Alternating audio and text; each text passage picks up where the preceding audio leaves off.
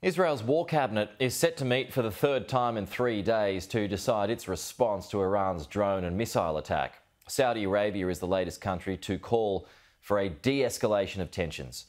An Israeli drone strike has killed a Hezbollah operative in South Lebanon, and Israel insists it will not be rushed into a decision on how to retaliate. We cannot stand still from this kind of aggression, Iran will not get scot free with this aggression. Admiral, when will you strike back? Firing 110 ballistic missiles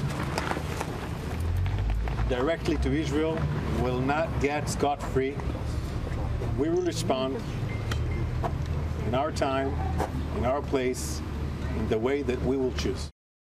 The Israeli military have put an intercepted missile on display at a base near Ashdod.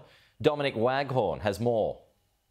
This is the fuel tank from an Emad, Iranian Emad ballistic missile. Um, the fuel tank is 11 metres alone, but before it was intercepted, there would have been an engine down the end, a metre or two uh, long, and then at the other end of the missile, there would have been a warhead about the size of a small car, packed with half a tonnes of explosives. As one Israeli officer said to us earlier, when he saw pictures of this on the internet, as we all did, he thought it was fake news, and it is really sobering standing next to this. It gives a very clear and powerful sense, graphically, of the threat posed by Iran's missile onslaught onslaught. More than 100 of these uh, ballistic missiles were fired and over 300 projectiles of different forms, drones, ballistic and, and cruise missiles all fired at Israel. All brought down apart from a small number, we're told.